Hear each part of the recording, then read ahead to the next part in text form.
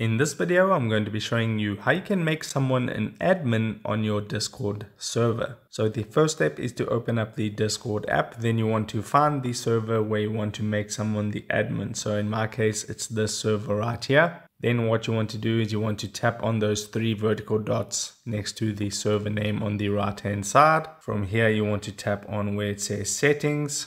And this is an Android phone. I think settings would be at the bottom on an iPhone but just find settings and then tap on it. Once you're on the settings page, you just want to scroll down until you find the roles option. So it's right over here, roles. I'm going to tap on that. And here are all your roles that you currently have. If you have nothing, there will be nothing there. But I have a few roles that I set up previously. So to add a new role, just tap the plus icon over there to add a new role. And you need to give your role a name. So where it says role name, I'm just going to type admin and then you can change the role color if you want. I won't be doing that just for this example. And then you need to set the server permissions. It says server permissions over here. So you want to scroll down and select what permissions you want. So for me, admins can view channels, manage channels, and there's one setting that you want to change at the bottom. So if you just scroll to the bottom,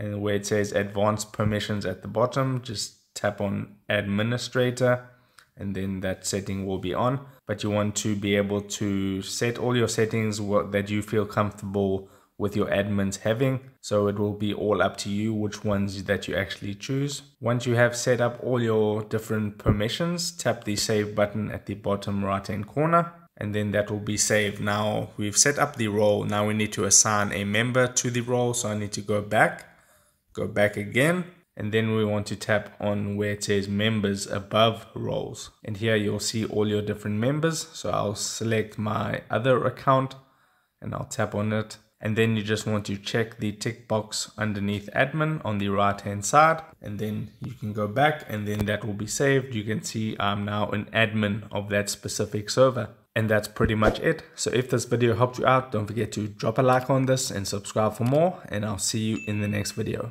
Take care.